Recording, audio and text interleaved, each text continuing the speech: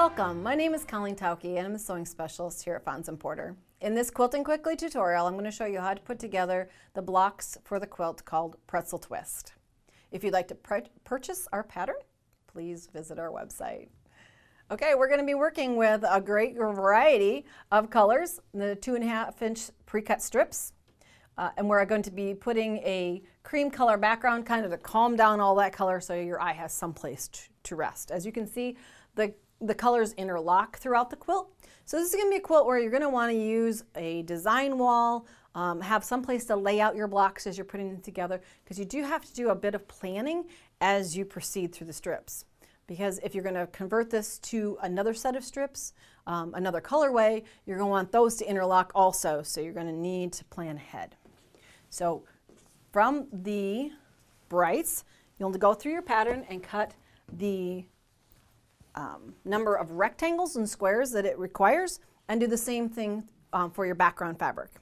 So you'll have all kinds of squares and rectangles. And as you do that, you want to keep light fabrics together so that as you use them, you can quickly identify them and pick out the one that you need. And then you're going to be creating what I've labeled here as Unit 1 and Unit 2. Unit 1, it consists of a rectangle, two squares. Unit 2 consists of a square and a larger rectangle. Those are going to be joined then as half of the pretzel twist in this block. And you can see that I have then joined this together right here. And then you're going to use the fabrics, same fabric combination of the two fabrics, but in different placements.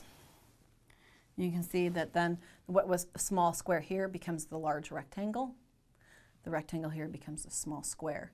And you can see kind of that twist that we're calling the pretzel twist in this block. So join these together then to make a block.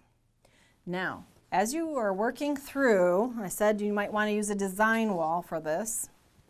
Once you created your first block, I'll make sure I place this the same as the one behind me so it makes sense as if you're looking from here to there.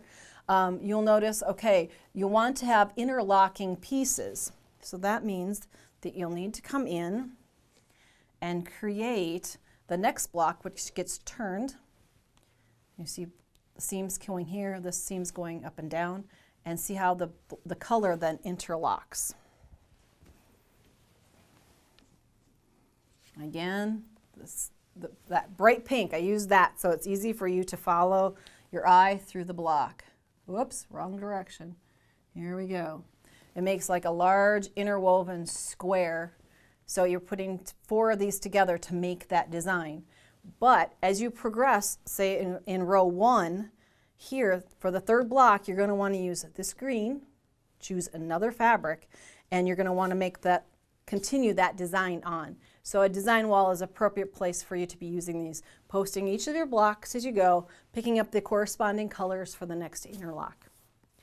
That's how you make pretzel twist. If you'd like to see more of our quilting tutorials and see tips, please visit our website. Thanks for joining me today.